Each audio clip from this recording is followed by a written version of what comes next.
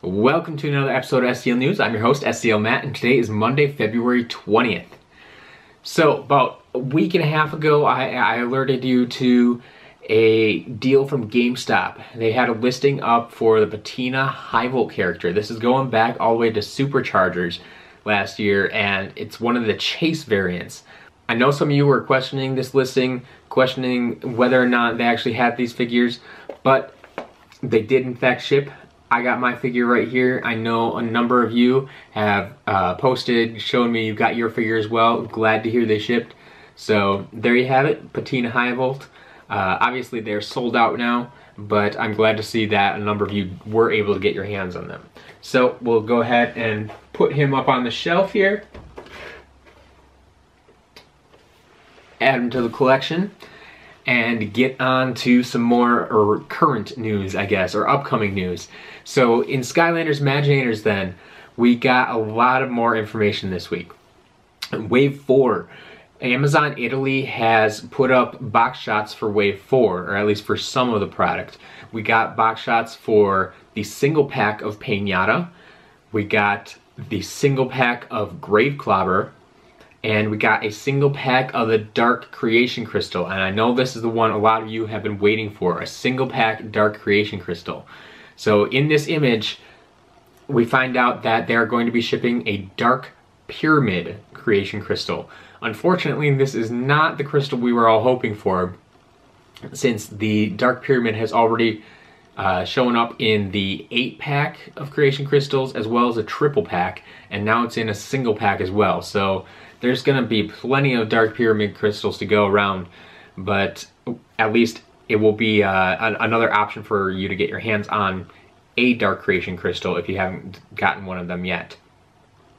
Now I will say, it is still possible, there is a small chance that we could see another, like a second Dark Creation Crystal in this assortment. So Wave 4 will still ship as an assortment like we've seen in the other waves, it's just gonna have more duplicates from previous waves and then a couple of new crystals, which we don't know what those other new crystals are. We only know about the Dark Pyramid because that's the image they chose to use. They didn't tell us if there's going to be a second Dark Crystal. It, it, it's still up in the air. Anything could happen with that yet. And as soon as we find out what, what exactly is in that assortment, I'll be sure to share that with you as well. The other thing we were hoping for in, in, in these listings was perhaps maybe our first look at the the Cursed Tiki Temple adventure pack, but unfortunately they do not have an image up for that yet. So hopefully we'll be getting that soon. The other really big news this week was Skylanders Imaginators got an update. That's right, the game itself got an update. So if you haven't done if you haven't played the game in a while, go get online, get this update and get ready for all the new content that's coming out.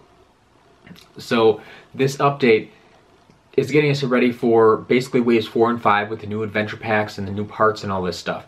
So we got a, a look at the location of the new adventure packs, which includes the Cursed Tiki Temple, which once again reiterated that you need Wildstorm to unlock this level. And then we got in, in the second adventure pack area, which we didn't have a name for until now, but it, we know it's called the Lost Imaginite Mines. And it did confirm then that you need Robo to unlock this level. So if you were watching some of my coverage earlier this week about the this update, you may have heard me mention something about the possibility of a third adventure pack, but I, I, am gonna I'm gonna step back on that now. I, I don't think there is actually a third adventure pack pictured here as as some of you pointed out, uh, if you dive a little bit deeper, you, you can actually see the goals of these levels. And if you look at the goals of the Cursed Tiki Temple level, it mentions an airship. And so we're looking at these sparkly outlines here. And off to the left, I think that what's floating in the air there is it, the airship that, that's referenced in the level. And then on the island itself is going to be the temple part of the level. So I, I looked like three separate structures we had here, but apparently, I mean, it is two separate structures, but they both seem to belong to the Cursed Tiki Temple Adventure Pack. So I don't think that's third level. There is a, obviously, that's all we know about for now. That's all they added to the game. They could still add more if they wanted, but for the time being, it looks like we do just have these two levels. This update then also fixed a couple other things, a couple other bugs that we had floating out there. The those of you familiar with the light creation crystal bug, uh, going into the collection menu, and it, it showed the wrong picture for the light fanged creation crystal. That has been fixed, so your crystals in the collection menu should now show up correctly. And though, then those of you familiar with the heroic challenge bug, uh, from the old games, bringing those figures who had completed those heroic challenges into the Skylanders Imaginators, it seemed to erase that data. That has now been fixed, and so you should be able to bring those characters safely into this game and uh, not lose any of that data. Uh, finally, the other big piece of this update was that they added all the new Imaginator parts. We knew there were Imaginator parts coming with the adventure packs, and they have added them to the game already. Some of these parts you can unlock right now. You are able to unlock them, use them on your Imaginators, make characters with them, and just like any other parts once, once you've unlocked them. However, the vast majority of the 250 new parts uh, are are actually locked to the new adventure pack levels. So you will need to buy those packs, unlock those levels, and play through them to unlock these new parts. Uh, unfortunately, that, that's not something you're just going to be able to do by uh, right now. You're going to have to buy those packs in order to get those parts.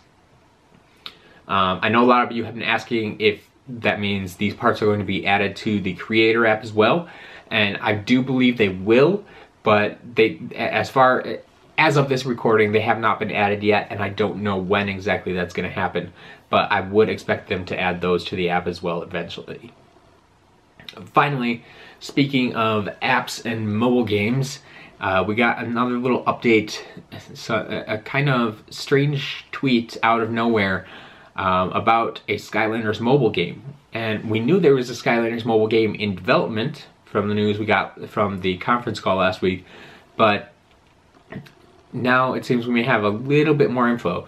If this is indeed the game that they were referencing, uh, it seems that it's being developed by a Korean developer called Com2Us or Com2Us, or I'm not sure how, how you pronounce that exactly, but uh, they have been in the mobile game for a long time. They, they, they have a pretty good track record. They know what they're doing with mobile games, so uh, it'll be interesting to see what they can do with Skylanders.